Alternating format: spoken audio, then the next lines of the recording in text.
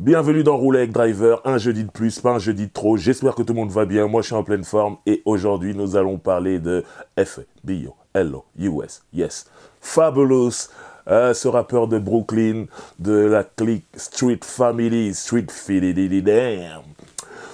Alors, euh, comment dire que ce rappeur a une longue carrière, une belle discographie, euh, avec des petites histoires, des hauts, des bas, et on va vous raconter tout ça. On va vous parler de, rap, on va vous parler de R&B, on va vous parler de fusillade, on va vous parler de rue, on va vous parler de stratégie marketing, on va vous parler de plein de choses. Bref, les débuts, comment ça se passe? Fabulous commence à rimer un peu dans son coin, il est de Brooklyn vers Bed-Stuy, le coin de Biggie, tout ça. Il commence à faire quelques rimes, voilà, histoire. Il freestyle dans la rue. Ses amis le trouvent bon. Et il y a un espèce de...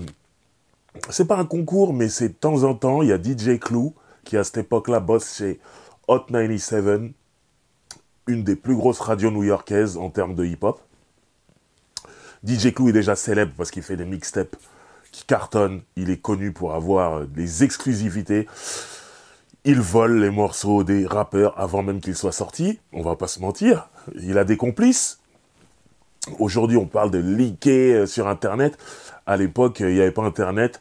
Quand les morceaux étaient leakés, ils étaient sur les mixtapes de DJ, dont DJ Clou, qui était connu pour avoir des exclusivités. D'ailleurs, il, criait au micro « Exclusif Exclusif, DJ Clou, le nouveau machin qui n'est pas encore sorti. Boum, il mettait. Bon, les rappeurs voulaient sa peau et tout, mais en même temps, ça faisait de la promo aussi. Donc, euh, ils étaient partagés entre lui casser la gueule et lui donner de l'argent. donc voilà. Ce DJ Clou-là, il est célèbre. Il bosse sur Hot 97, grosse radio. À cette époque-là, il est sur Hot 97 parce qu'il va changer après. Et... Euh, il, un moment, il, a un espèce de moment dans son show où il invite des rappeurs un peu moins connus, mais qui trouvent fort à venir freestyler. Alors, je sais qu'il a fait ça aussi sur Power 105, qui est l'autre grosse radio new-yorkaise, sur laquelle il est parti ensuite travailler. Alors, je sais plus au moment où, où, il, à ce moment précis, dans quelle radio il est. Il se pourrait que ce soit Power. Mais bref, en tout cas, dans son émission, ça on en est sûr, c'est son émission, il invite Fabulous à venir rapper freestyle. À ce moment-là, Fabulous ne s'appelle pas Fabulous, il s'appelle Fabulous Sports. Pourquoi Sports? Parce qu'il aimait euh, Polo Ralph Lauren, Polo Sports, la marque. Euh, voilà. Et euh, donc il s'appelait Fabulous Sports. Et en même temps, il rendait hommage au basketball, son sport favori.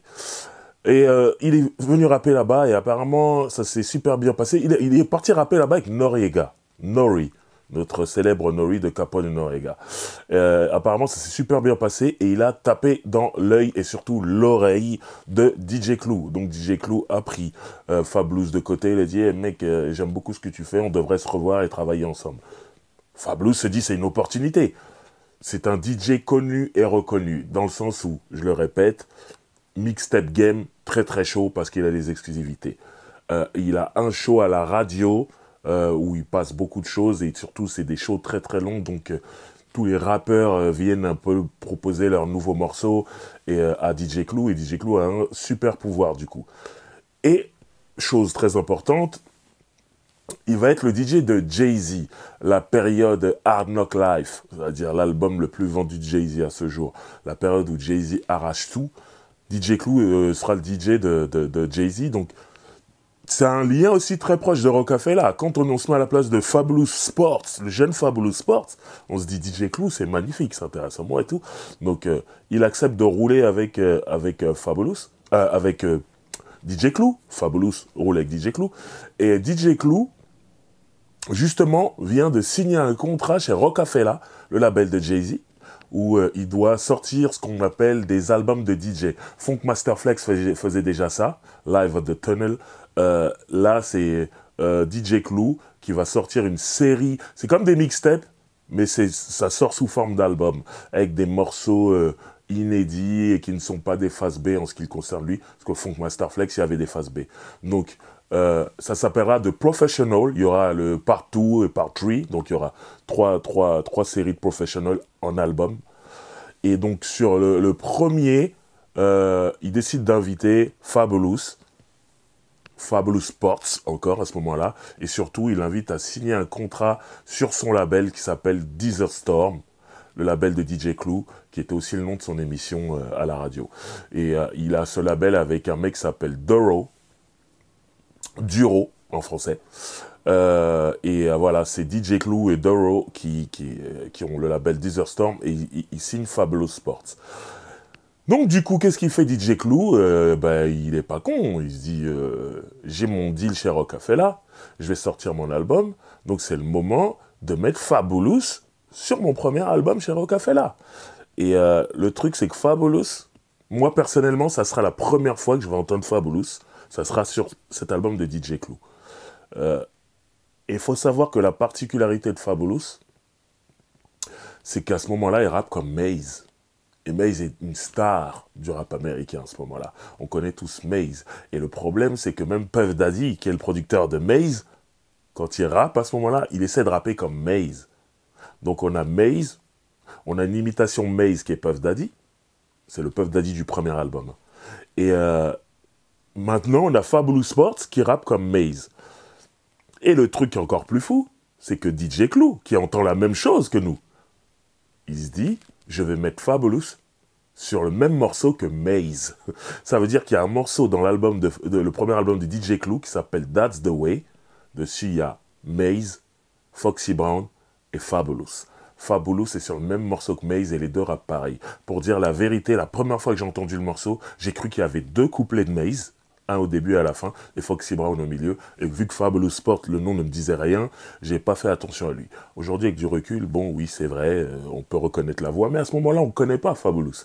Et moi, il a le même flow paresseux que Maze. Donc euh, voilà, pour moi, c'est un coup d'épée dans l'eau. Et surtout, je me dis, mais Clou, t'entends qu'il rappe comme Maze, tu veux le mettre sur le même morceau que Maze? Bien sûr que Maze va prendre toute la lumière. C'est ce qui s'est passé. Mais au passage, The Professional, le premier, platine. Et euh, en vrai, Fabulous Sport se retrouve sur un premier album euh, où il y a un disque de platine. Je ne sais pas si on lui en a donné un, mais en tout cas, il est sur un album qui a vendu plus d'un million d'exemplaires. Il a fait un couplet dessus et c'est magique. Donc voilà. Donc, Fabulous continue son petit bonhomme de chemin, mais ça veut dire, moi, il n'est pas du tout dans mon radar. Je le vois pas. Je le répète, j'ai cru entendre Maze sur l'album de DJ Clou. Alors, je ne sais pas qu'il existe en vérité. J'ai vu marquer son nom, mais je ne sais pas qui c'est. Voilà, clairement. Là, vraiment, où il va se passer quelque chose dans mes oreilles, dans les oreilles du rap américain, c'est lorsque Lil Mo, une chanteuse de R&B, va sortir le morceau Superwoman. Et dessus, en featuring, il y aura Fabulous. Et là, par contre, le couplet qui lâche, le couplet est chaud, toujours avec le flow de Maze, mais voilà, c'est son pour la première fois, je vais entendre ça et je me remettrai son couplet, me remettrai son couplet. Déjà, le morceau, il est chaud de l'Ilmo. Le beat qui est derrière, il est complètement ouf pour du R&B. Et Fabulous, même si c'est toujours le flow de Maze, il est super chaud son couplet. Et je crois même qu'il en a deux couplets à savoir. Bref. En tout cas, il réussit pour moi son, son introduction dans le game lors de ce morceau-là. Un morceau de R&B, le morceau de l'Ilmo et le morceau cartonne. Donc du coup, Fabulous, les gens veulent savoir. Et il se trouve qu'en parallèle, Desert Storm, ils ont signé un deal avec Electra Warner. Donc le label de DJ Clou et Duro va être distribué par Electra Warner. Donc les choses vont être faites en grand. Et l'homme que l'on nomme Fabulous va bosser sur son premier album, qui sera Ghetto Fabulous. Oui, le nom, hein, c'est simple, mais voilà, euh, je l'ai là dans les mains parce que je l'ai acheté. Du coup, euh, grâce, au morceau avec Lil Mo, euh, j'attendais ce mec-là. Je voulais savoir. Et puis, je vous cache pas que DJ Clou est tellement big en tant que DJ, mixtape DJ et tout ça. Et puis, de le voir avec Rocafé là, tout ça, que je me dis, c'est une production DJ Clou, bah, je pense que ça va être bien. Donc je, je, vais sur l'album, mais pour vous dire la vérité, le gros déclencheur, c'est encore une fois MTV qui me joue le clip de Candy Night, à Candy Night avec euh, Monsieur Ned Dog, j'en ai déjà parlé dans la spéciale Ned Dog de ce morceau. Candy Night, c'est un truc de malade, dans le sens où le beat est fou, Fabulous est super chaud, Fabulous est fly dans le clip, en plus il est là, il est, c'est l'époque où c'est la mode des grosses casquettes New Era, euh, des gros whitey, les gros, ou alors les, les jerseys de basketball ou de football américain ou de baseball et les baggy tout ça. Il est clairement dans ce style là un style très new-yorkais. Et euh, ça lui va bien. Et puis c'est surtout ça marque cette époque là et euh, le morceau avec Ned Dog, Ned Dog déjà, vous savez, je suis fan, j'ai pas besoin de le répéter, Defro, tout le tralala. Mais en plus, ce qu'il chante, il reprend en fait des paroles de Tupac dans euh, Ambition as a Rider. Donc il y a, y a, plein d'ingrédients déjà qui m'interpellent et c'est complètement fou pour moi. Donc quand j'écoute ce morceau, je suis comme un dingue. Du coup, je vais chercher l'album et cet album, honnêtement, bah, je suis directement euh, d'accord avec, en fait. Je regarde un peu ce qu'il y a dedans, euh, Click and Spark, ouais, l'album commence comme ça, c'est cool, mais tout de suite, en track 2, il y a Keeping It Gangsta. Yeah, no, Keeping It Gangsta. C'était comment ouf, le son, le beat. Il y a des rappeurs qui sont réputés, malheureusement, comme étant des gens qui choisissent mal leur son, leurs instrus. C'est pas le cas de Fabulous. Il est choisi super bien. Franchement, c'est ouf. Il y a derrière, il y a Youngin. Youngin, c'était un hymne du Harlem Shake. Le vrai Harlem Shake, hein, celui avec les épaules. Euh, c'était la folie quand les DJ mettaient ça en soirée, ça partait en Harlem Shake parce que dans le clip de Youngin, c'était déjà le Harlem Shake. Et je me rappelle à Paris, c'était la folie. Il y avait des vrais mecs et même des meufs qui contrôlaient ce Harlem Shake là. Et euh, c'était produit par Neptunes. Le beat était ouf. Euh, Fabulous, il a bien fait son boulot. Get right. right for this one day? Trade It All, pas la version de l'album. On parlera du remix un peu plus tard. Right now, later on. Il y a des prods de Tim, il y a une prod de Timbo dedans, euh, comme j'ai dit tout à l'heure, Neptune. Donc ça va, ils sont Maybe Easy, Maybe Easy. Ça passe en soirée de dingue à Paris. il a fait, oui, donc ouais. Non, il y a des, je me rappelle, il y a Jarul on est en invité. Non, ils ont fait les choses en grand. Hein. Et cet album-là, donc, premier album, succès. Et ça, c'est important. C'est que le Fabulous Sports, qui ne s'appelle plus Fabulous Sports, qui s'appelle Fabulous tout court, dès le morceau de Lilmo, le Fabulous Sports que je disais, ouais, il ressemble trop, il rappe trop comme Maze. Je l'entends pas. Passe sur le morceau de Lilmo il rappe comme Maze, mais je l'aime bien. À Fabulous, il rappe comme Maze, mais il a réussi son premier album. Et surtout, le truc qui est important, c'est que Maze, ils vont se croiser. Il y en a un qui va descendre, l'autre qui va monter. Dans le sens où Maze va avoir ses premiers soucis avec Puff Daddy. Et euh, surtout, il y a le, le passage où Biggie est tué, ou euh, il y a tout Tupac d'abord, Biggie après, et il y a tout un truc qui traîne. quand on est chez Bad Boy ou chez Death Row, on se dit, est-ce que c'est moi le prochain? Donc, euh, tout doucement, Maze va quitter le rap game aussi, il va rentrer dans la religion, le christianisme et tout, et euh, on l'entendra de moins en moins, sachant que le deuxième album de Maze n'a pas été de la folie, c'était pas de la folie. Moi personnellement, plus j'ai pas aimé l'album et tout, et quelque part, on a un peu le remplaçant de Maze, mais il faut préciser que pour moi, c'est Maze dans le flow, mais c'est plus gangsta, c'est plus ghetto que Maze. Parce que, euh, ok, il a ses, morceaux, il y a Lil Mo hein, sur l'album, il a invité Lil Mo aussi, donc euh, c'est cool. L'un invite l'autre. Il a des morceaux un peu RB et tout, mais il a des morceaux durs, des morceaux rues, et surtout, c'est un sacré punchliner, le Fabulous. Donc, euh, c'est cool, dans le sens où, ok, Maze est en train de partir, c'est pas grave, on a un nouveau Maze. On est plus là-dedans. Alors, sur le premier album de Fabulous, il y avait un morceau qui s'appelait Trade It All. Avec Jagged Edge, le groupe de RB Jagged Edge au refrain. Vous l'aurez compris, le RB et Fabulous, c'est quelque chose d'important. Déjà avec Lil Mo, ça a commencé là et tout. Mais bon, ce morceau, pour revenir dessus, sur le premier album de Fabulous, je le trouve bof.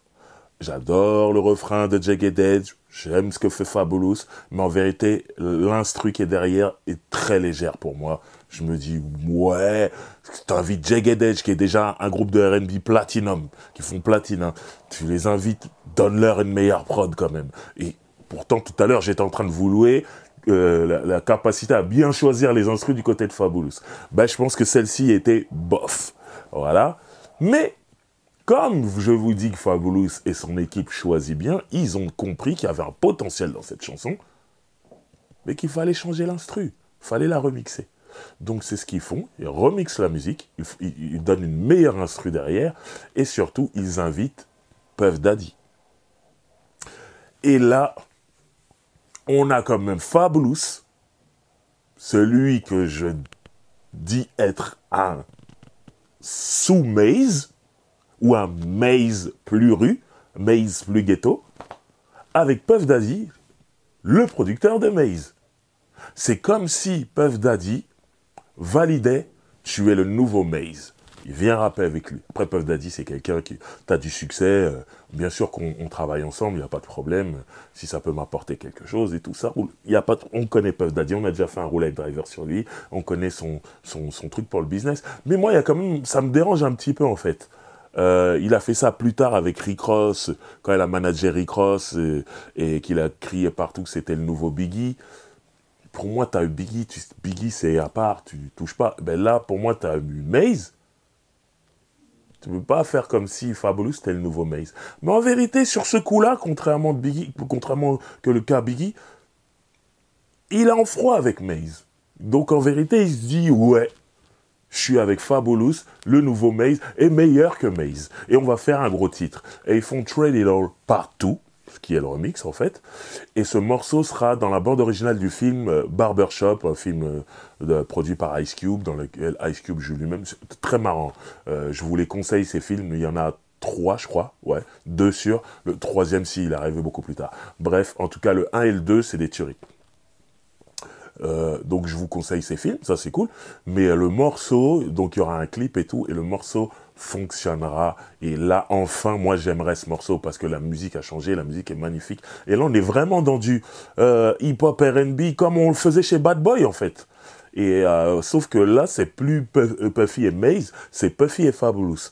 Et le résultat est vraiment bien. Donc, vraiment, moi, à ce moment-là, je suis en train d'oublier Maze. Je suis en train de rouler franchement avec Fabulous. Et je le répète, il a un truc plus ghetto. Là où Maze, il est très joyeux, il sourit tout le temps. Fabulous, il sourit pas. Mais bref. Après le succès de ce morceau, il est temps d'embrayer rapidement sur un deuxième album, parce qu'il faut battre le fer pendant qu'il est chaud. Et c'est ce qui va arriver avec l'album Street Dreams.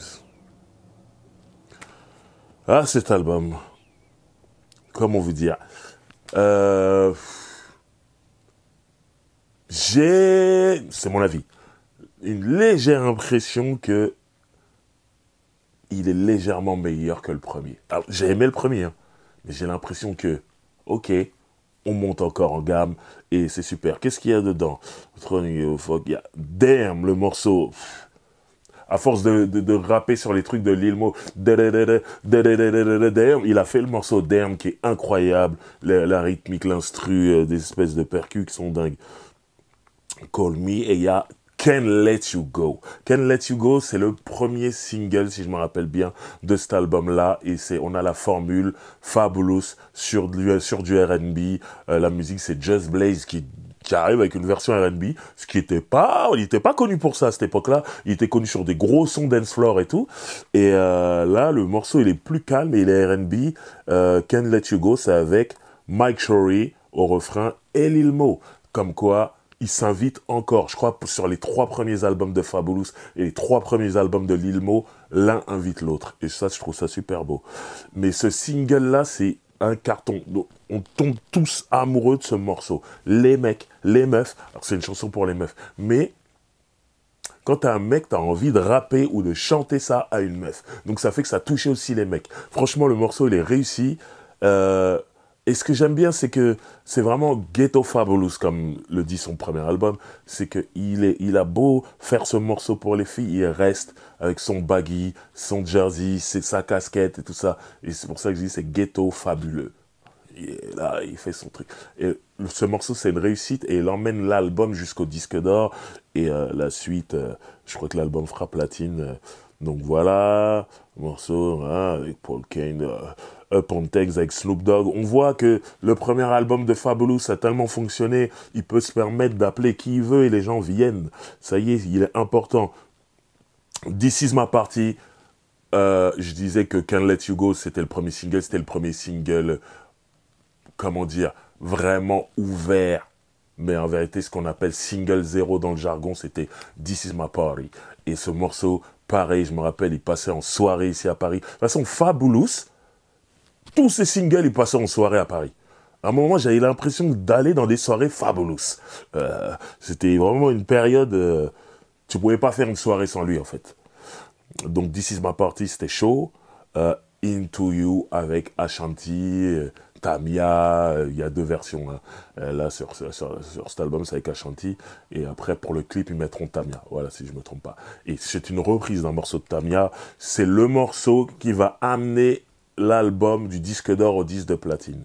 Et euh, gros, tube, gros single, encore sa formule RB. Et ça y est, on le comprend ça que Fabulous, c'est quelqu'un qui va voir des morceaux rue dans son album avec deux trois morceaux RB pour les singles radio. C'est la formule Fabulous. Respect, euh, Never Duplicate, c'était chaud. Euh, My Life avec Mary J. Blige où il reprend What's the 411 de de euh, Mary J. Blige avec euh, Grand Pooba. C'est une reprise. Je vois qu'il y a Keeping It Gangster euh, qui, qui, était déjà sur le premier album. Ils font un remix avec Jadakis et M.O.P. et Styles P aussi. Donc c'est la guerre hein, quand vous voyez le casting. Et bien sûr, ils remettent Trade It All, le fameux remix Trade It All Partout avec Puff Daddy et tout. Bref, cet album est un succès, deuxième succès d'affilée tout le monde est content. DJ Clue, euh, euh, Duro, euh, Warner, euh, Warner Electra, à ce moment-là, c'est important de préciser, vous comprendrez pourquoi. Et bref, tout se passe bien dans le monde de Fabulous. Alors, je vous le répète encore une fois, Fabulous est signé sur le label de DJ Clou. DJ Clou, grand mixtape DJ. Je le, rappelle, connu pour ses exclusivités. Donc, il a toujours cette culture de la mixtape et surtout, la mixtape marche toujours. C'est toujours important surtout à New York. Euh, donc ils se sont dit, voilà, derrière le succès du deuxième album, on va continuer, on va sortir un, autre projet rapidement qui sera une mixtape, mais une mixtape officielle, une mixtape qui va sortir en major. Voilà, un peu comme euh, les, albums de DJ Clue chez Rocafella, euh, voilà. Et ça s'appellera More Street Dreams. Ça sera ça sera la, suite, euh, on va dire, euh, des morceaux, euh, des freestyles autour de l'album Street Dreams. Et donc voilà ce CD que j'ai entre les mains. Il y aura le single Make You Mine avec Mike Shorey qui sera un morceau avec un, beat, une très très lourde, mais sur laquelle il y aura quand même du chant parce que Mike Shorey c'est un chanteur de R&B, mais et Fabulous sera super chaud dessus.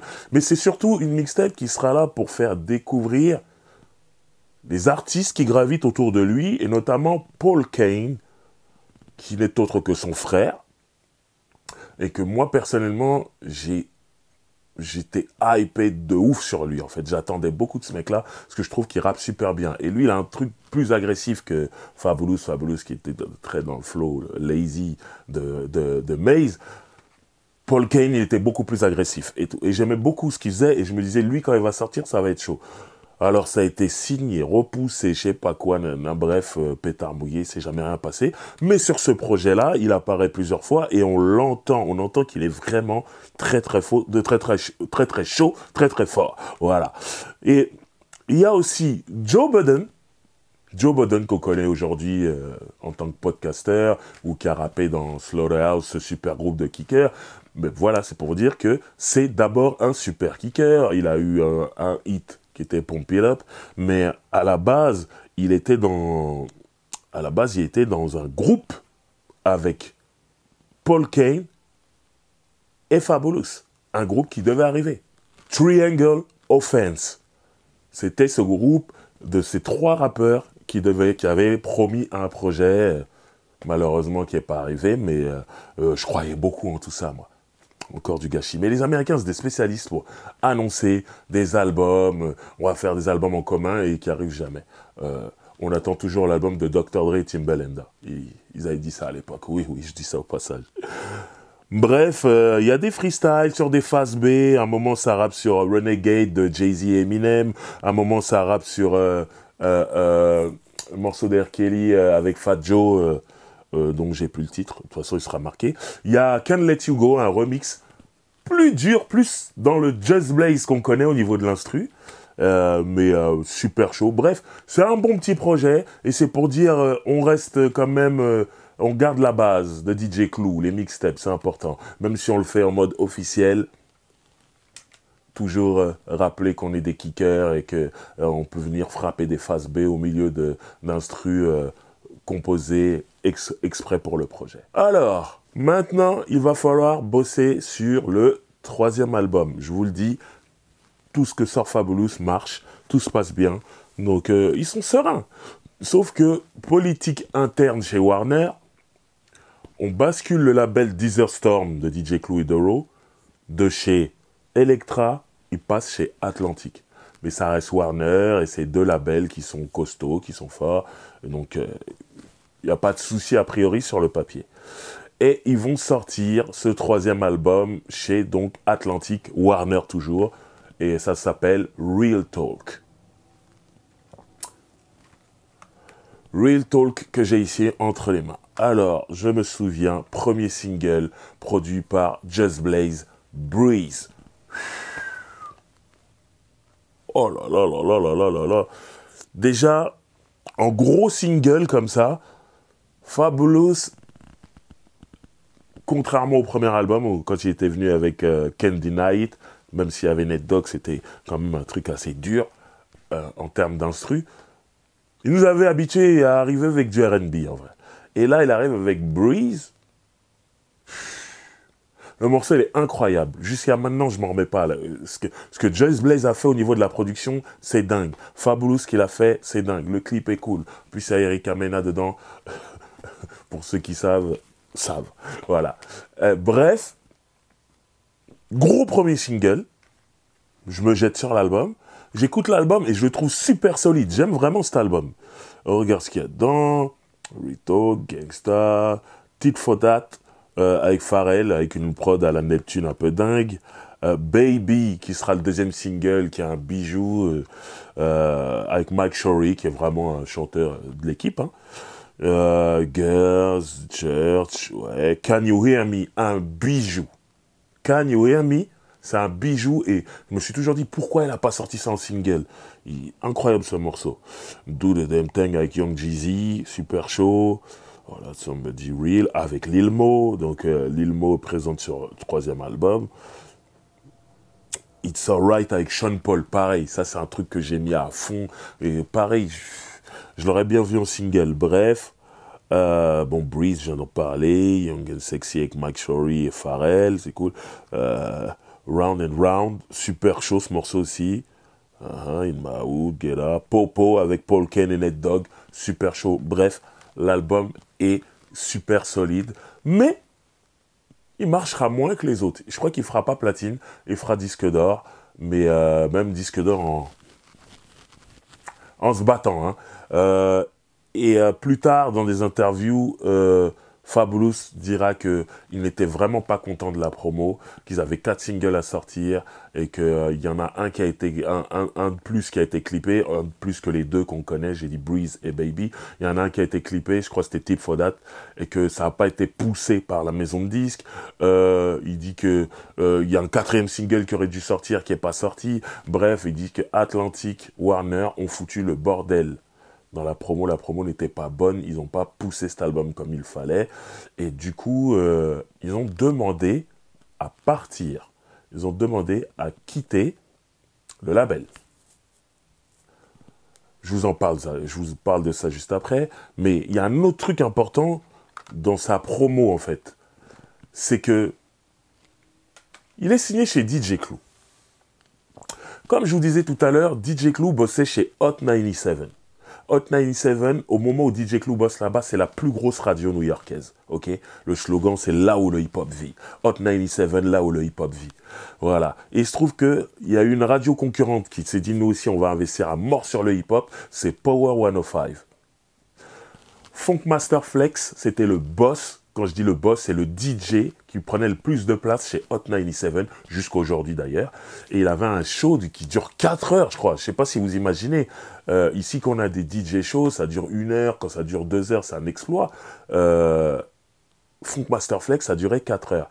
Et euh, à des gros horaires, hein, pas la nuit ou je sais pas quoi. Et, et du coup, pendant ces 4 heures, Funk Master Flex, il pouvait se permettre de jouer plusieurs fois le même morceau quand il voulait l'appuyer. Quand il drop la bombe, c'est pour dire que ça, c'est le morceau qui est chaud. Donc c'est comme s'il y avait une playlist dans un show de DJ. Donc des morceaux qui revenaient souvent.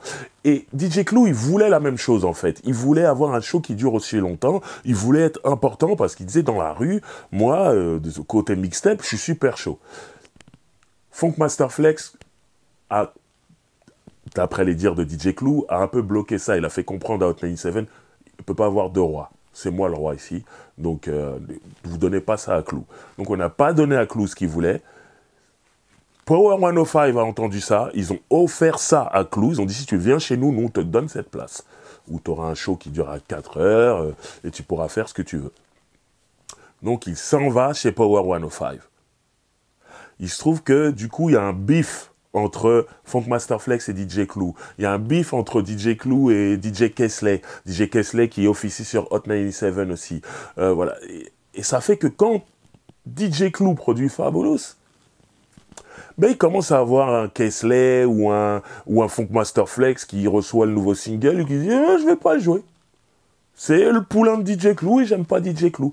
Donc, ce qui était une force au début, de signer chez un DJ, qui est en place à la radio et dans les mixtapes, ça pouvait être aussi une faiblesse dans le sens où t'hérites de ces embrouilles avec les autres DJ, et du coup les autres DJ ne veulent pas te jouer. Et sur cet album Real Talk, c'était là que ça commençait à être un peu compliqué. Alors j'imagine qu'à un moment, ils étaient, un peu obligés de jouer, mais ils jouaient très peu. Ils appuyaient pas dessus. Ils mettaient pas la bombe Funk Master Flex. Et voilà. Donc euh, tout ça, ça a été compliqué et ça fait que euh, Fabulous et Storm, l'équipe, demandent à quitter Atlantic Warner. Qu'est-ce qui va se passer avec Warner? Storm, Fabulous veulent partir. Il va se passer un truc digne d'une intersaison de football. Des trucs que j'ai jamais entendu ça en fait. Alors, ce qui va se passer, c'est que Dave Jam, va entendre que Fabulous et Deezer Storm ne sont pas contents chez Warner, et ils vont parler, rentrer en contact avec eux en leur disant Nous, on est chaud pour accueillir Fabulous ici chez Def Jam. Réglez vos histoires avec euh, Warner et vous avez une place chez nous. Donc, euh, Clou, Duro, Fabulous vont faire comprendre à Warner que nous, on veut se barrer, on a une opportunité chez Def Jam, ne gâchez pas tout, ne compliquez pas les choses, laissez-nous partir. Warner va faire un coup de force incroyable et vont dire Ok, laissez-nous rentrer en contact avec Dave à votre sujet et on va s'arranger pour que vous puissiez partir. Ok. Warner Atlantic va rentrer en contact avec Dave Jam Universal en leur disant Ok, on veut Fabulous. Euh, non, on veut vous laisser Fabulous. Mais contre Fabulous, on veut un artiste qui est chez vous, Def Jam. Et Def Jam, ils disent qui? Music Soul Child, le chanteur de RB. On le veut chez nous. On fait un échange. On dirait deux joueurs de foot. Vas-y, euh, je te passe celui-là, tu me passes celui-là. Et ça, c'est fait. Si vous regardez la discographie de, Music, euh, Music a une partie de sa discographie chez Def Jam et l'autre chez Atlantic c'est à ce moment-là. Et c'est au moment où euh, euh, euh, Fabulous bascule d'Atlantique à Def Jam. Et c'est comme ça que ça se fait. On dirait un transfert sportif. allez, on échange des joueurs et tout. ça change de maillot et tout. Au final, tout le monde est content. Et ça, c'est plutôt cool. Fabulous vient de Brooklyn. La rue, du côté de Bed-Stuy, il peut avoir des, des, choses un peu dures. Hein. C'est le rap américain, vous savez. Et euh, on le voit, il y a des vidéos à l'époque des Smack DVD. On voit Fabulous avec son équipe, la Street Family, Street Family, déjà avec le nom, on comprend que. Et on voit qu'il est avec des gens qui sont durs. Voilà, après c'est sur ses amis, hein, mais voilà, c'est euh, les mecs du ghetto. Et il se trouve qu'il doit être dans des histoires un peu louches qui, qui, traînent, parce qu'un jour, il, euh, il se fait tirer dessus. Il y a quelqu'un qui ouvre le feu, qui le voit, il est avec des amis à lui, et qui tire dans la jambe de Fabulous. Fabulous est touché à la jambe. Dans la foulée, les, deux, trois amis et qui il est répondent et ils tirent sur le, sur le mec qui a tiré. Et bref, euh, je pense que le mec réussit à s'enfuir. Fabulous est emmené à l'hôpital, la police arrive et tout ça. Et surtout, quand la police arrive, le premier truc qu'ils font, c'est de fouiller la voiture de Fabulous et ils tombent sur des armes euh, euh, non homologuées, hein, on va dire. et du coup, il a des problèmes avec la justice pour ça, alors qu'il est transporté à l'hôpital euh, parce qu'il a une balle dans la jambe euh, et tout ça. Bon, finalement, il s'en sortira. Euh, il marche, hein, vous le savez. Mais voilà, c'est pour vous dire que même si musicalement tout se passe plutôt bien, il y a des histoires de rue qui peuvent. Il a été touché dans la jambe. Imagine que ce soit un peu plus haut et qu'il perde la vie. C'est que voilà, il peut se retrouver dans des trucs bizarres. Et c'est toujours le lien étrange qu'il y a entre le rap et la rue. Euh, beaucoup de gens se disent oui, euh, quand tu signes un gros contrat, tu gagnes de l'argent, tu quittes la rue. Oui, schématiquement, tu déménages. Tu n'habites plus dans le ghetto. Mais en fait, tu as toujours tes fréquentations de, du ghetto. C'est tes amis. Tu peux pas dire au mec, bah ça y est, je suis riche, je vous aime plus. je peux plus traîner avec vous, je suis quelqu'un d'autre. C'est eux qui vont te dessouder. Donc, euh, non, en vérité, tes amis, c'est tes amis, et tes amis du ghetto, et ça fait que tu as encore un lien avec euh, la rue et tout. Alors, on n'en sait pas plus. Bien sûr, Fabulous euh, dira à la police, je ne sais pas qui, quoi, comment, je ne sais pas. J'ai été touché, mais je ne sais pas par qui, comment, pourquoi. Bien sûr, ils ne, ils ne snitchent pas, ils ne disent pas. Mais voilà, une histoire louche comme ça, et ça peut rendre très parano et tu peux euh, redoubler ton service de sécurité. Et le problème de ces rappeurs, c'est que souvent, ce qu'ils appellent être un service de sécurité n'est pas un service de sécurité. Ce sont juste, juste des KRA, des gangsters de chez eux, qui sont prêts à démarrer sur des gens si quelqu'un approche l'artiste. Souvent, c'est ce qui fait que le service de sécurité attaque au lieu de défendre. Mais c'est un autre débat, ça. En tout cas, Fabulous, euh, voilà, il, peut se retrouver dans des histoires de, port d'armes. Euh, il avait déjà eu une autre histoire avant de port d'armes, mais c'est bon, l'arme a été déclarée comme appartenant à un de ses gardes du corps, donc il s'en était sorti. Et là, jusque là où carrément il se fait tirer dessus. Et quand la police vient, il regarde pas juste, oh le pauvre, c'est une victime, mais vous avez des armes à feu. Vous êtes aussi un agresseur. Bref, il s'en est sorti. C'est ce qu'on retiendra. Revenons à la, musique maintenant. Je vous l'ai dit, il est signé chez Def Jam, fraîchement chez Def Jam, et va sortir son premier projet chez Def Jam. L'album s'appelle From Nothing to Something. Il est là. Alors, comment vous dire que il y a un morceau d'abord qui arrive en éclaireur qui s'appelle euh, Return of the Hustle et euh, avec Swiss Beat qui fait le refrain et que ce morceau, alors euh, il me semble que c'est dans la spéciale Cash Money, je crois, j'ai dû parler d'un morceau de Birdman featuring plein de gens qui s'appelle 100 euh, Million, je crois, et je vous disais que c'est le morceau que je me mets tous les 1er janvier de chaque année pour me donner la motivation d'aller faire de l'argent. Eh bien, il y a aussi ce morceau-là qui s'appelle Return of the Hustle, qui fait partie de mes en fait, il n'y a que deux morceaux, ces deux morceaux-là. Le morceau de Birdman et le morceau de Fabulous. C'est des morceaux que je mets pour me dire, OK, cette année, tu vas. Tu vas chercher l'argent. Et voilà, ce morceau, c'est une motivation. Swiss Beat, toujours avec ses refrains qui bounce, tu as envie de sauter comme ça avec lui. Donc ça, c'est cool. Mais surtout, voilà, le premier single officiel, le premier single pour la radio. On garde la même formule. Le R&B, c'est euh, Fabulous featuring Neo, Make Me Better, avec une prod de Timbaland qui ressemble pas à les prods, euh, qui ressemble pas aux prods de Timbaland habituels, et, euh, mais qui, tue. Et franchement, ce morceau, pareil, je vous l'ai dit, hein, il n'y avait pas une soirée parisienne sans Fabulous, donc euh, tous les DJs attendaient le nouveau Fabulous. Quand c'est arrivé, ça, rat de marée, les DJ jouaient ça, tout le monde criait, euh, qui, I'm a movement by myself, le, ce que Nio fait en couplet, ce qu'il fait en refrain, c'est dingue. Fabulous, c'est super chaud. Euh, dans le clip, si je me trompe pas, il y a Roselyne Sanchez, cette actrice magnifique portoricaine dont je suis clairement amoureux. Oui, elle est dans ce clip-là, il me semble. Euh, incroyable. Euh, bref, et c'est son plus gros single en termes de vente à ce jour. Il a même battu Can't Let You Go. c'était la folie, c'était numéro un ils ont fait une dinguerie euh, tous les trois. Fabulous, Neo et Timbaland à la production. Bref, on rentre un peu dans l'album. Qu'est-ce qu'il y a dedans? Yep, I'm back from nothing to something, l'intro. Yep, I'm back. Change Up featuring Akon. C'est l'époque où Akon aussi, euh, il fait tous les refrains euh, de, la terre. Mais euh, il a aussi mis, euh, produit quelqu'un qui faisait tous les refrains de la terre après Akon. C'est T-Pain. Donc il y a le morceau Baby Don't Go avec T-Pain qui deviendra un single mais je pense qu'ils n'ont pas pu avoir T-Pain pour le clip.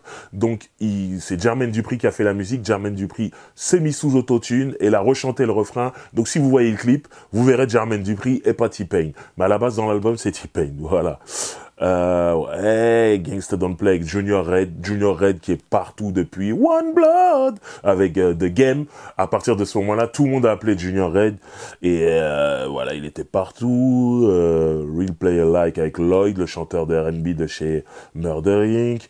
Il a First Time avec Rihanna. Là, ça commence à devenir big, c'est dingue. Diamonds avec Young Jeezy qui est un bijou, qui est un morceau aussi qui a été clippé. Euh, super. Il y a Brooklyn avec Jay-Z et Uncle Murda. Jay-Z vient normal. Et vous savez que Jay-Z, voilà, c'est compliqué de l'avoir. Et quand il vient, c'est que t'es chaud. Et en plus, il est de Brooklyn comme lui. Euh, Uncle Murda de Brooklyn, ils font le morceau Brooklyn. Donc normal, il y a Red Café qui est affilié à la Street Family. Même si lui, il a son truc Shakedown et qui signera plus tard chez Bad Boy et que Bad Boy ne le sortira jamais. Quelle carrière aussi compliquée euh, pour un mec que je trouve super fort, Red Café.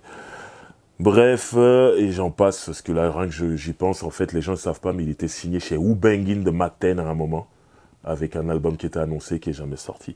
Red Café, le pauvre, il a signé dans tous les labels, il s'est rien passé. Morceau avec Pusha et morceau avec Lil Mo. Quatrième album, il y a encore Lil Mo. J'adore, j'adore leur relation. J'adore cette relation. Bref, l'album est costaud.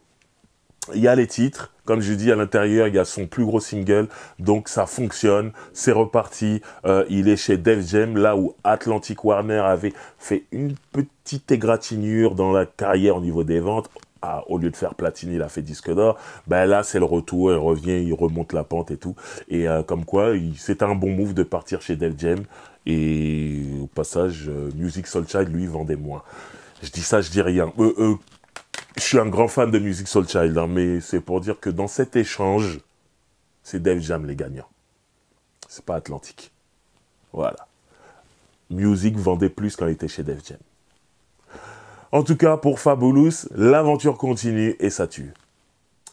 Alors, où est Maze dans tout ça? Parce que depuis tout à l'heure, on avance et je dis de moins en moins, oui, mais comme Maze, oui, c'est le nouveau, c'est le nouveau Maze, oui, c'est un sous-Maze, oui. Je ne dis plus ça depuis tout à l'heure. Tout simplement parce que Fabulous s'est affirmé. Comme je vous l'ai dit, l'un descendait, l'autre montait, euh, l'autre montait, donc il a pris la place. Et euh, on ne se dit plus qu'il rappe comme Maze, vu que Maze n'est plus là, on se dit, c'est Fabulous, c'est tout. Et moi, le premier, ça y est. Moi, euh, ouais, j'entends Fabulous. Sauf que Maze va faire un retour, euh, un premier retour chez Bad Boy, il sortira un album, ce qui sera son troisième album, avec Welcome Back, tout ça. Et euh, après, il, s'en ira encore, pour revenir un peu plus tard, parce que 50 Cent et le G-Unit veulent signer Maze.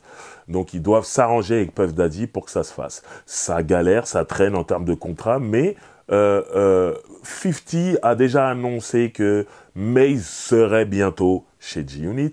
Donc il emmène Maze avec lui en tournée, il commence à faire euh, euh, mixtape et tout. et, et dedans, comme Maze revient avec G-Unit, qui a une image plus dure que Bad Boy Entertainment, il se sent aussi obligé de la jouer un peu plus dure. Et à un moment, il va un peu dire des paroles qui vont à l'encontre, qui vont, qui, vont clairement vers Fabulous en disant ouais, il y a des mecs qui me copient, qui en ont profité pour faire de l'argent pendant que j'étais pas là. Maintenant, papa est de retour. Et vous allez devoir dégager. Et il dit Fabulous. Et euh, il n'a pas tort, mais en même temps, il n'a pas parlé pendant des années, et tout d'un coup, il dit ça, c'est un peu, bon, bof. En tout cas, Fabulous n'en a rien à foutre, et il va répondre avec un morceau que j'ai trouvé très malin. Je vous le répète, Maze est censé signer chez G-Unit. Donc, il roule avec 50 Cent. Qu'est-ce que va faire Fabulous? Il va prendre un morceau de 50 Cent qui attaquait Jaoul, le morceau, le fameux morceau où il disait Murder, I don't believe you, murder, murder, murdering. À chaque fois, Jaoul disait It's murder. Et lui, en gros, 50 Cent, il disait, euh, il disait je, je ne crois pas que t'es murder, que t'es t'es dans le meurtre ou machin. Bon, on parle de musique. En gros, il voulait nous faire comprendre que non, euh, Jarul c'est un gentil, n'allez pas croire que c'est un gangster.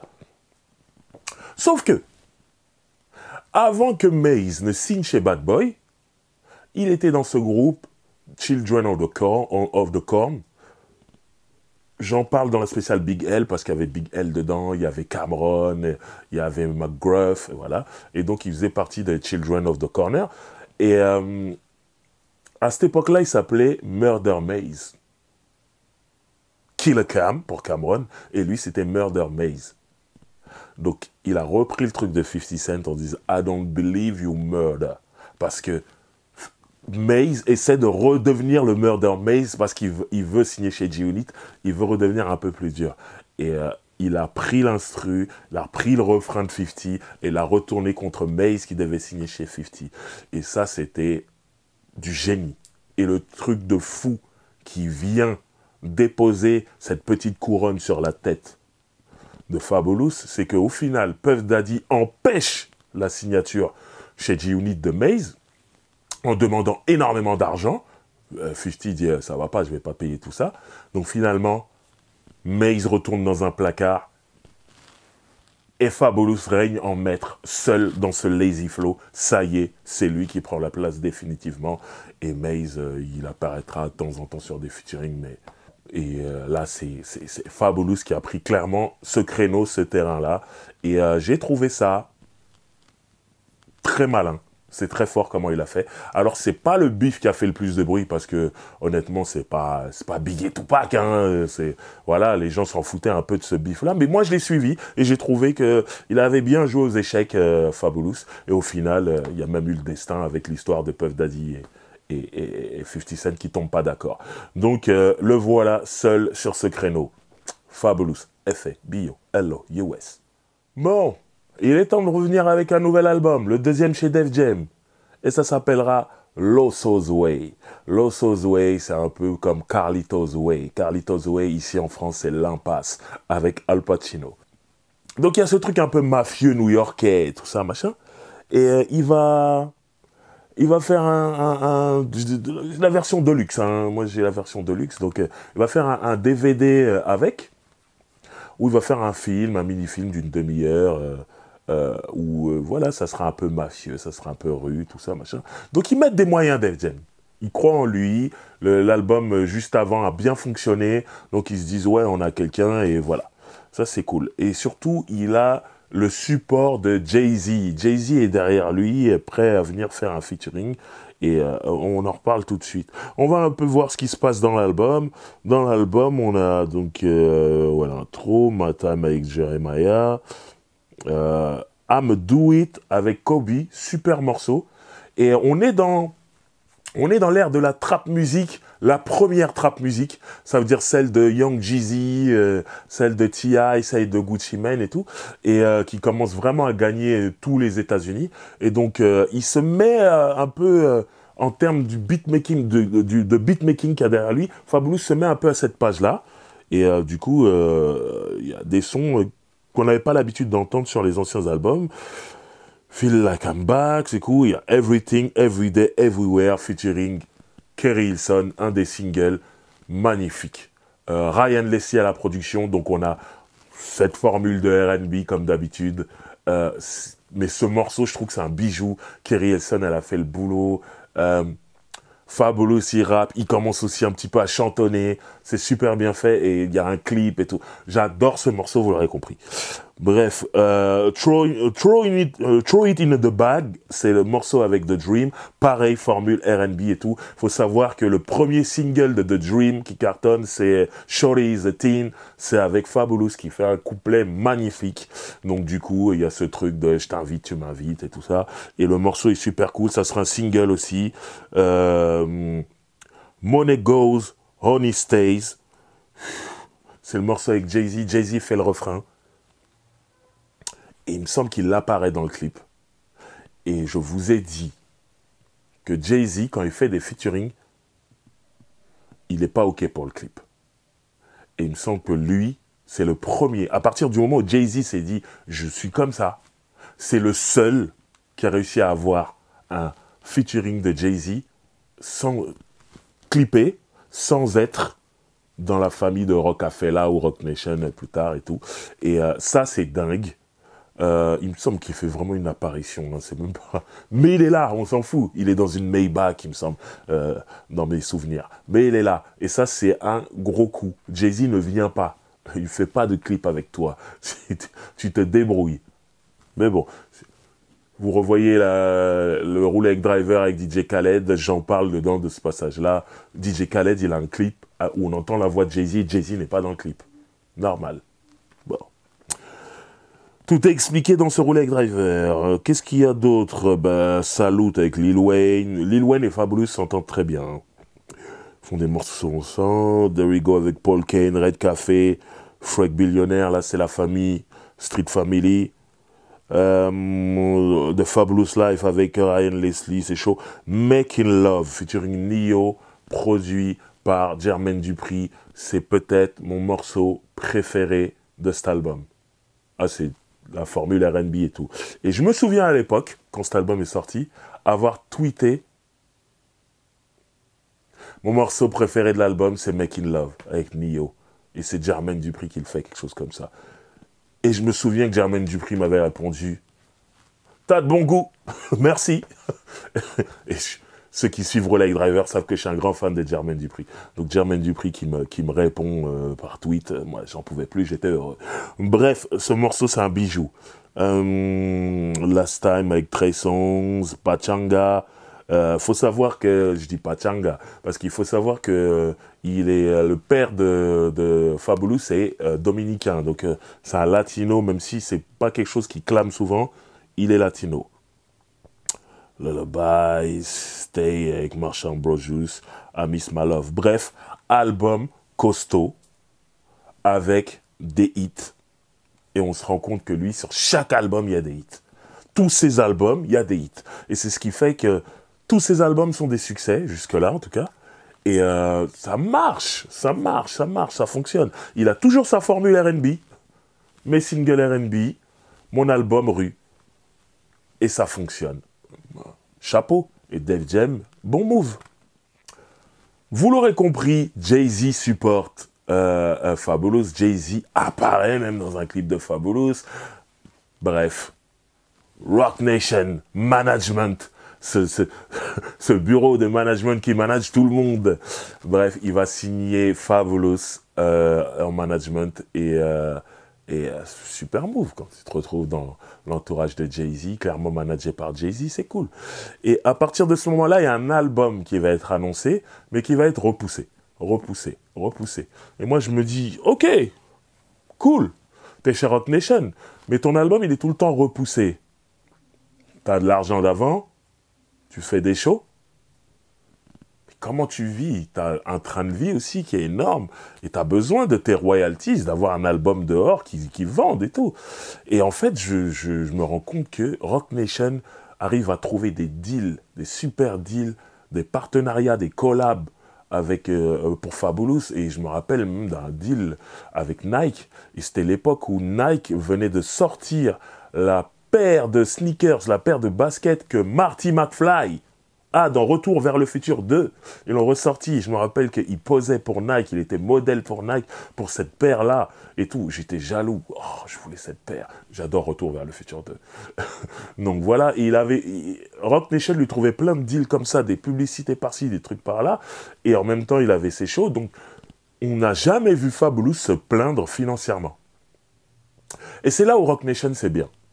C'est qu'il te trouve des deals des collabs euh, et tout. Et euh, même si ton album ne sort pas, tu vis. Et c'est ce qui s'est passé pour lui. Donc euh, voilà, on voit Fabulous avec la chaîne Rocafella, là, le logo avec la clé de sol, machin. il fait partie de la famille Jay-Z, quoi. Et tout se passe bien. Pendant toute cette période où l'album, le nouvel album de Fabulous va être repoussé, repoussé, il va faire des mixtapes. Euh, il a plusieurs séries de mixtapes. Il a There Is No Competition, et euh, super mixtape, et il va en faire un EP. Il va en faire un EP. Tout ça, c'est même avant, euh, avant la signature chez Rock Nation. Il va en faire un EP que j'ai là entre les mains. There is no competition mixtape, la 2, je sais pas quoi. Ouais, ça c'est la numéro 2, mais c'est un EP, je crois. Il a pris certains titres et surtout, c'est qu'il n'y a pas de phase B. Et euh, même sur une mixtape, euh, il arrive à nous mettre, à nous faire un hit. Hein. Euh, you Be Killing Them, produit par Ryan Leslie. Le morceau est dingue, avec Amber Rose dans le clip. Magnifique. il y a des super morceaux. Hein. C'est un, 10 titres. il y a un morceau avec Cameron et Vado qui est Body Bag Remix complètement dingue. Il y a un morceau avec Red Café, Tonight, bref, euh, The Wake. Il y a... C'est vraiment un très bon EP. Et euh, il est super chaud en termes de euh, mixtape. Je dis, il y a, There is no competition, c'est une série de mixtapes. Et franchement, c'est très réussi. Bon, l'album, repoussé, tout ça, machin, il fait une autre série de mixtapes qui s'appelle The Soul Tape. The Soul Tape, franchement, moi, toutes les mixtapes de Fabulous sont énormes, sont magnifiques. Mais c'est ma série de mixtapes préférées. Je crois qu'il y en a trois. Il y a trois volumes. Euh, la 1 et la 2, pour moi, c'est incroyable. La 3, ça va. Mais la 1 et la 2, c'est complètement fou. Et le concept, c'est vraiment de rapper sur des phases B ou des productions euh, euh, vraiment préparées pour mais en gardant un esprit soul derrière, qui est des samples de soul et tout. Et ça veut dire qu'il va monter aussi bien sur des, des morceaux de Jay-Z, sur des, des, des, des, des trucs de J. Cole, des, il va monter sur énormément de choses, et c'est toujours réussi. C'est des bijoux. Et dans tout ce marasme de mixtape, il y a aussi la Summer Shootout. Euh, je crois qu'il y en a trois aussi qualité incroyable. La troisième, elle est récente, hein. elle est sortie là, là, ces trois, quatre dernières années, je sais plus, où on a des artistes comme Jack Weiss, euh, euh A Boogie with the Hoodie, euh, des artistes de maintenant et tout, ils se mélangent euh, avec les, jeunes et tout, et ça c'est super cool, ça me plaît. Euh, même musicalement, il, s'adapte à ce qui se passe aujourd'hui et tout. Et en fait, dans tout ce marasme que j'adore, hein, je dis marasme, mais en vérité, dans toute cette bonne soupe de mixtape, une soupe magnifique, il y a son album Young OG qui va sortir. Et personnellement, c'est l'album de toute la carrière de Fabulous que j'aime le moins. Pourquoi? Parce que cet album est moins bien que les mixtapes, que toutes les mixtapes dont je vous parle. Moi, Soul Tape, c'est magnifique, c'est magnifique. Mais il y a vraiment l'esprit mixtape dedans. Mais par exemple, sur les Summer Shootout, notamment la numéro 3, pour moi, c'est un album. Pour moi, Summer Shootout, c'est meilleur que Young OG, qui est censé être l'album. Et il est là le souci. C'est que cet album, pour moi, il a été noyé par la qualité des mixtapes de Fabulous. Je vous invite à aller écouter euh, ces mixtapes. Les Summer Shootout, il me semble qu'elles sont disponibles en streaming, mais les Soul Tape, non. Alors faites comme Tonton Driver, prenez l'application DatPif. Attends, je leur fais de la pub, j'en parle souvent dans Rolex Driver.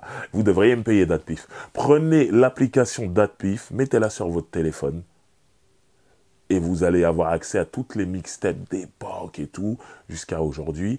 Et les soul tapes de Fabulous sont dessus. Toutes les mixtapes de Fabulous sont dessus. Et vous allez kiffer. Et vous allez comprendre pourquoi l'album Young OG, j'ai eu du mal. J'ai eu du mal. Il y a des bonnes choses, il y a des trucs cool. Mais ça vaut pas Summer Shootout 3, ça vaut pas... Summer Shootout 3, il y a des morceaux. C'est trop. J'adore le morceau Insecure c'est une tuerie. Le morceau Oh Yeah avec euh, Ty dans le sign, c'est une tuerie. Bref, euh, l'album Young OG n'était pas à la hauteur de ces mixtapes. C'est ce qui fait que. Et euh, c'était censé. À l'heure où on parle, Young OG, c'est le dernier album en date de Fabulous. Et Fabulous, il est plus en mode euh, mixtape, single, fait des singles, mais on dirait qu'il cherche pas à refaire un album. Il sait que là, on est dans une autre ère c'est pas lui qu'on attend. Mine de rien, il a quand même duré. Donc, il fait son truc intelligemment. Il joue, aux échecs pour continuer à faire de l'argent et tout. Et je trouve que c'est super intelligent. C'est pas un mec qui est tombé. On le voit sur les réseaux sociaux. Il a l'air d'aller bien. Et comment vous dire que j'aime beaucoup sa femme. Je sais, j'ai cité au moins trois ou quatre filles là dans ce dans ce roulé avec Driver en disant ah je l'aime bien, oh je suis amoureux tout ça. Driver est un cœur d'artichaut. Driver a beaucoup d'amour, donc il partage son amour. A spread love is the Brooklyn way. Voilà. Brooklyn. En gros, Fabulous, c'est le mec qui est arrivé en rappant comme Maze et qui a fait oublier Maze. en général, on se dit, non, on aime l'original, on n'aime pas l'imitation. Euh, finalement, il a tiré son épingle du jeu parce que, je l'ai dit, il a un côté plus oud. Donc, il a rajouté des ingrédients qui ont fait que Fabulous est devenu Fabulous. Donc voilà. Et plus Maze. J'adore Maze. Moi, le premier album de Maze, c'est un classique. Je l'écoute tout le temps. Quand je veux écouter Maze, j'écoute Maze. Je vais le chercher sur le premier album de Puff Daddy. Je suis bien. Bref, Maze, super chaud. Mais Fabulous, c'est un mec qui a une carrière. Contrairement à Maze, finalement. Et elle est là la différence. C'est qu'il a duré dans le temps. Et je trouve qu'il a une super discographie. Vraiment album mixtape, c'est des tueries. Il a une flopée de tubes, il a plein de hits. Et puis je le répète, c'était le roi des hip-hop parties, le roi des soirées. À Paris, il n'y avait pas une soirée sans qu'on joue Fabulous à l'époque. Et pendant plusieurs années, parce que chaque album, il avait des hits. Et ça, beaucoup de respect. Et je le répète, il a l'air d'aller très bien. Il, a son l'air d'avoir son business, il est bien, il a son deal avec Rock Nation, il fait des collabs, il fait des shows, il fait des choses. Et euh, voilà, Fabulous, beaucoup de respect, F-B-O. L-O-U-S, yes. Il y aura comme d'habitude une playlist spéciale Fabulous. Appuyez sur la cloche pour la notification. Euh, appuyez sur s'abonner si ce n'est pas déjà fait. Parlez-en à vos voisins pour que le mouvement roule avec driver augmente, augmente et augmente, devienne de plus en plus gros parce que le rap c'est important, parce que le RB c'est important, parce que le dancehall c'est important. Bref, toutes les musiques qu'on aime sont importantes. Donc, faites passer le mot. C'est clean